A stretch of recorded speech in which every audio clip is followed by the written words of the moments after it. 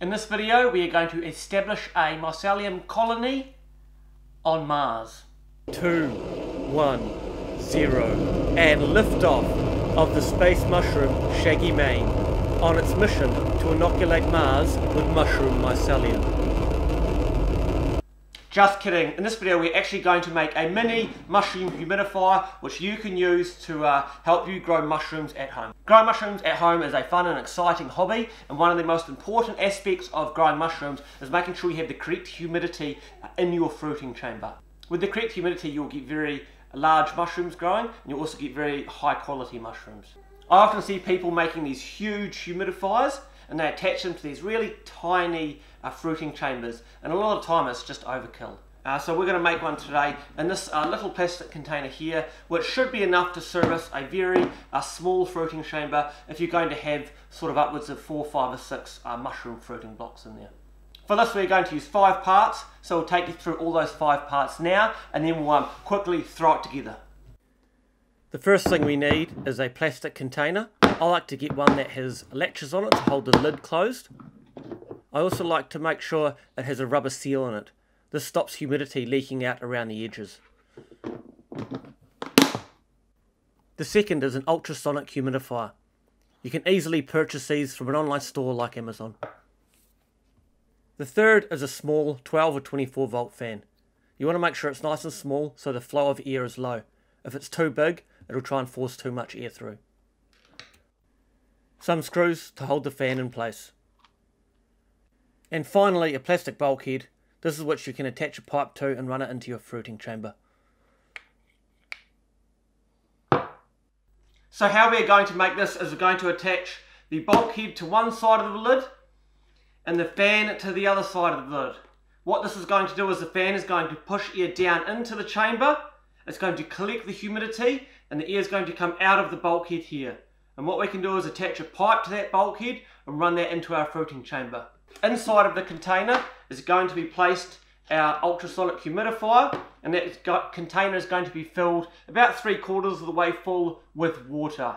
With that much water in there, there should be about one to one and a half litres uh, of water that can be humidified and pumped into your fruiting chamber.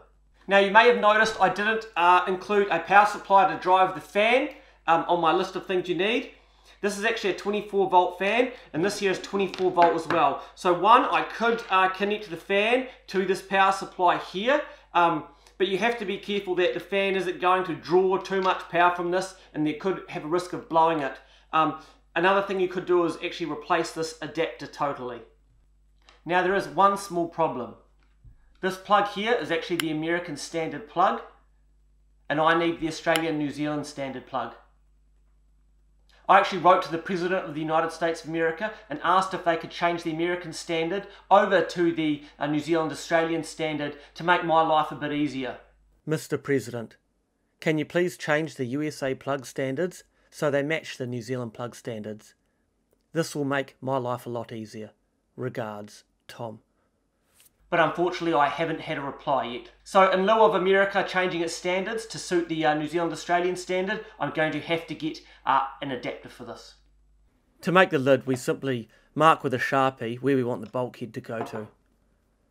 You can just eyeball this. Then we measure to know how big a hole we need to drill. It's 44 millimeters. So you Americans understand, this is also 1.73228 inches.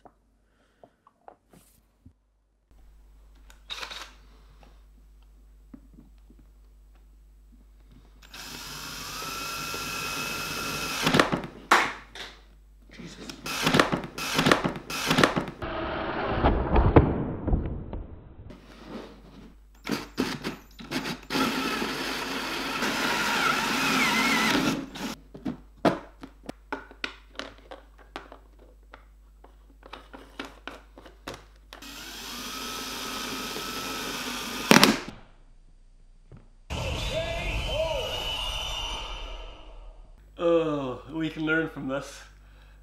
Make sure the lid's on a flat surface.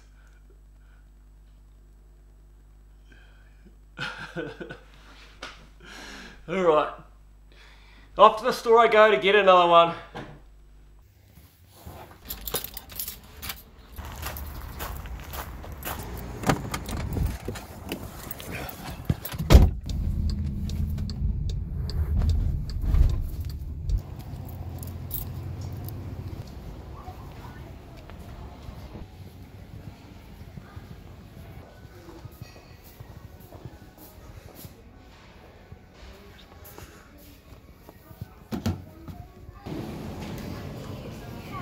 Hello.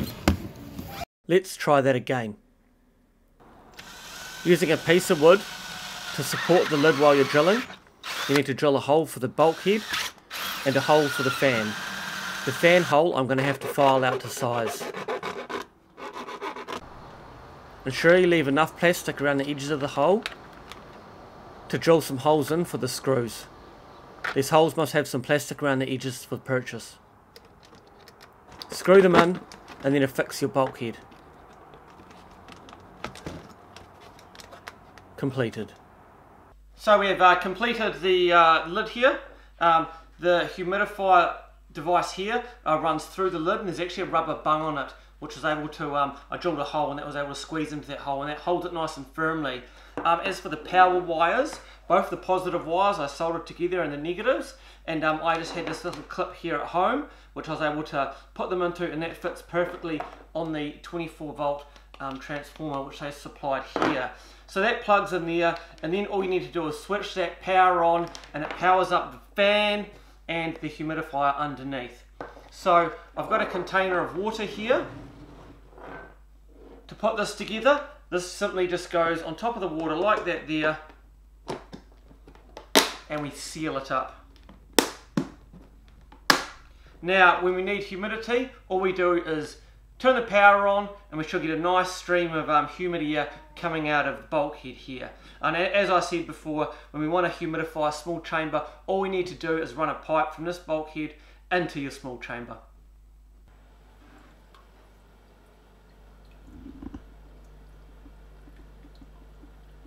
Hey guys, remember if you like my videos, make sure you hit that like and subscribe.